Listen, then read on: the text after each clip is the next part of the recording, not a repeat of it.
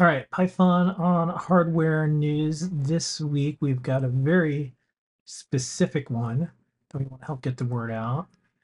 If you like PyCon and you like CircuitPython, guess what?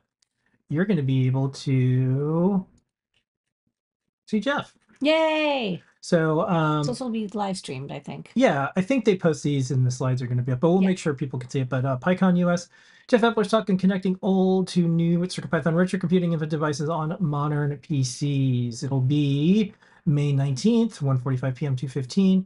It'll be in Hall C at PyCon US 2024 in Philadelphia, Pennsylvania.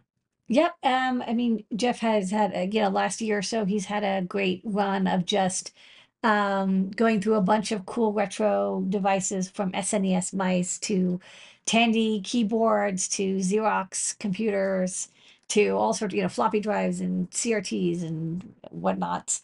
Um, getting them to all work again, uh, bringing them back to life with by mixing old and new technology, especially using, um, you know, boards like the KB2040 um, ESP chips and CircuitPython, which has made it really easy for him to um, make these mods. And I think it's a cool demonstration of um, the power of CircuitPython, where you can embed, you know, assembler level PIO structures within a um, easy to understand and program CircuitPython script that is, you know, quickly adaptable. Um, definitely one of the things about dealing with retro technology is, you know, you're kind of half reverse engineering, half debugging, half learning.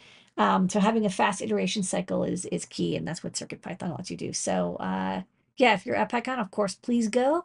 Um, and if you're not, then wait and the slides and video will be posted. And I think like one, um, you know, funny thing with this talk, but also I think it's important because anytime people talk about retro stuff, they're like, oh, people are destroying things. No, no keyboards are harmed in this. There's this is non-evasive. This is one of the cool things. You get to touch the just- protocol and it just it. works. Yeah, Yeah. that's I think that's really important. And you know, there's lots of um mods and things that people do where they like gut retro hardware and sometimes the stuff just is broken, doesn't work. But this is working with equipment that you're not going to destroy. Um, so you also want to talk about something else. I was I was asking you about it. Um, couple things. Uh, well, actually, at the very top is where we've got the Yeah. yeah, Oh, up to 750. Actually, I think we're 755 um, yeah. uh, certifications. Um, the other thing that's cool is The Raspberry Pi Raspberry Pi Connect. Connect? This is kind of neat because, like, you know, one of the things with VNC is that you, you know, if you set up VNC on your Raspberry Pi so that you can like view and control your Raspberry Pi remotely, traditionally you can only do it within the same network because like it's it's peer to peer, point to point. Um, but now Raspberry Pi has like this service, Raspberry Pi Connect, and it's a little bit like Zoom, but for like Raspberry Pis. Can they even mention that? So you because it's if you have a Pi on a different network, like how do you know what the IP address and how do you like you know route back and forth and connect to it? Um, this is a this is a hard problem to do because everyone's behind a firewall on purpose. Um, Raspberry Pi now has a service that they run that helps connect your Pi to your computer web browser. Um, so they've solved the little problem of like how do you know where in the world your computer is? Once you identify it, then you can send data back and forth without touching their server. So they, it's kind of a nice little add-on for Raspberry It's Pi. really like a million years ago when you're running your own web server and you wanted to use your like home cable modem connection and you needed to be able to serve up pages, but it was always a um, dynamic network address. It was always a different IP address.